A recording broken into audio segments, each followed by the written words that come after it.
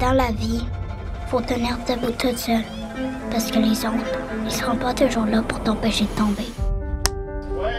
J'ai été complètement charmée par cette histoire qui est un peu, qui se passe en marge de la société, où est-ce qu'une petite fille est élevée en marge avec des valeurs euh, différentes. Elle ne va pas à l'école, est élevée avec les, les valeurs de la vie. Disons que c'est toi qui racontes l'histoire de ta vie avec tes deux parents que tu aimes, Mhm. qui viennent de deux milieux très différents. Oui. Puis moi, j'essaie de les garder ensemble. Oui, exactement. Parce que tout le monde, toute la société essaie de les séparer, tout le monde, toutes les familles qu'ils ont, euh, essaient de C'est un les, les peu déchirer. une histoire d'amour impossible. Ça nous a peut-être forcé à fouiller un peu dans le patrimoine génétique pour s'apercevoir qu'on n'est pas si tant différent que ça de nos parents.